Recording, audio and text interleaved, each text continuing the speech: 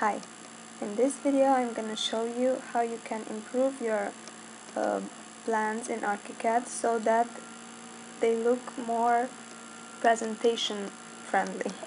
So basically what that means is we're going to add image fills with different textures so that the plan looks a bit better.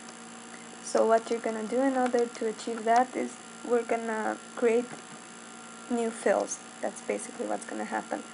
So what you're going to do is you're going to go to Options, Element Attributes, fill Types.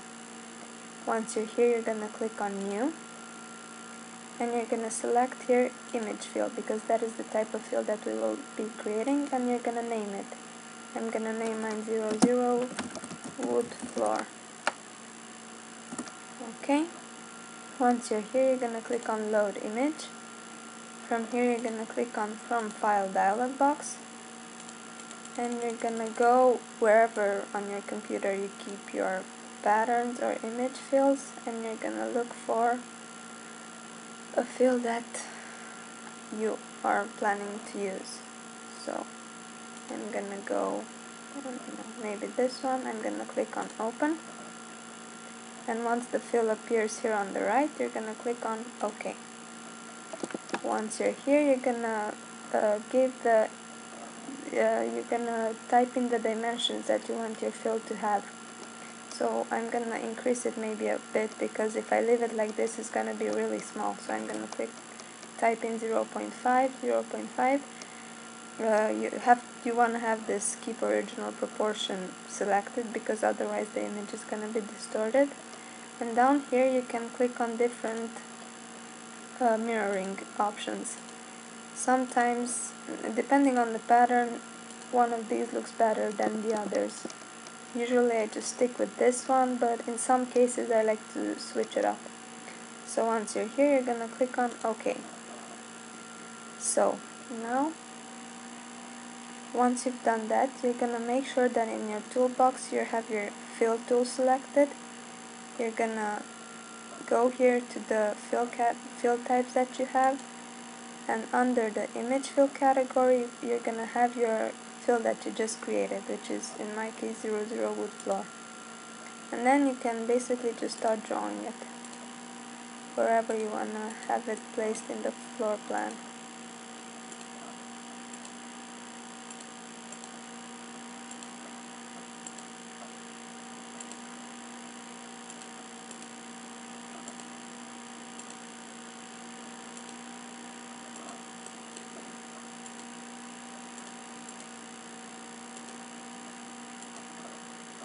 okay and then once you've done that you can see that your fill appears um, the fill that you just created appears. Uh, I don't like the fact that first of all it's not aligned with the walls of the building because it's aligned with the uh, you can see it here that I have my orientation a bit changed from zero degrees and I don't really like the proportions of the of the fill so what I'm gonna do is I'm gonna select it. And over here on the right I'm gonna click on the construction method distorted fill so here I'm gonna change uh, these two lines. Once you click that these two lines appeared which are the lines with that you're gonna use to distort the fill from how it looks right now.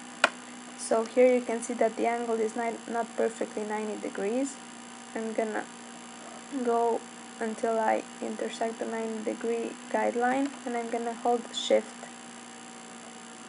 Hold down on shift and I'm gonna click on tab and put the distance to meters. It's in my case. Over here I'm gonna do the same. I'm gonna do 2 meters but maybe this is a bit too much so what I'm gonna do is reset this to 1.5 and over here uh, maybe this one I'm gonna leave on too so yes as you can see the floor plan already looks better because it just gives a bit more depth and it helps with how you see the floor plan and how your customers or clients can imagine maybe better what you designed. Okay, I hope this helps. Bye.